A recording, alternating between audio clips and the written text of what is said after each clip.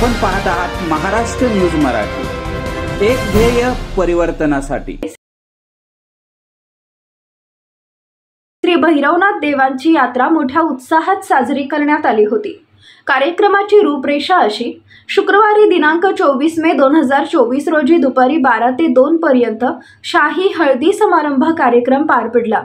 तसेच शनिवार दिनांक पंचवीस मे दोन हजार चोवीस रोजी सायंकाळी सहा वाजता श्री भैरवनाथ देवाचे लग्न समारंभ सोहळा मोठ्या आनंदमय वातावरणात संपन्न झाला व श्री भैरवनाथ देवांची भव्य दिव्य बावडा गावातून ढोल ताशांच्या गजरामध्ये मिरवणूक काढण्यात आली होती.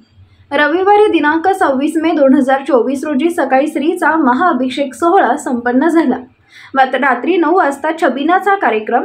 यामध्ये पारंपरिक पद्धतीचे ढोल लेझिम मल्लखांब आणि शोकालीन शोभेचे दारूकाम रात्री बारा ते पहाटे पाचपर्यंत फटाक्यांची आतषबाजी करण्यात आली होती.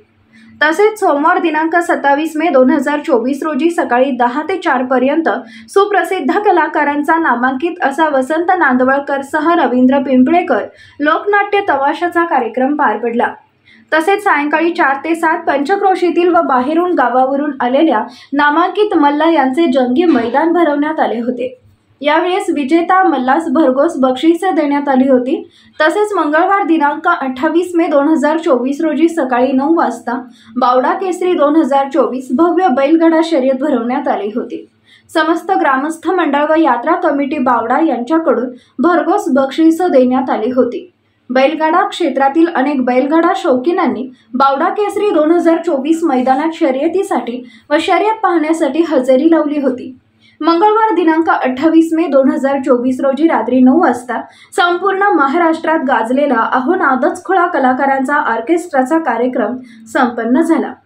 कॅमेरामन सहा संदेश चव्हाण. आपण पाहत आहात महाराष्ट्र न्यूज मराठी एक ध्येय परिवर्तनासाठी.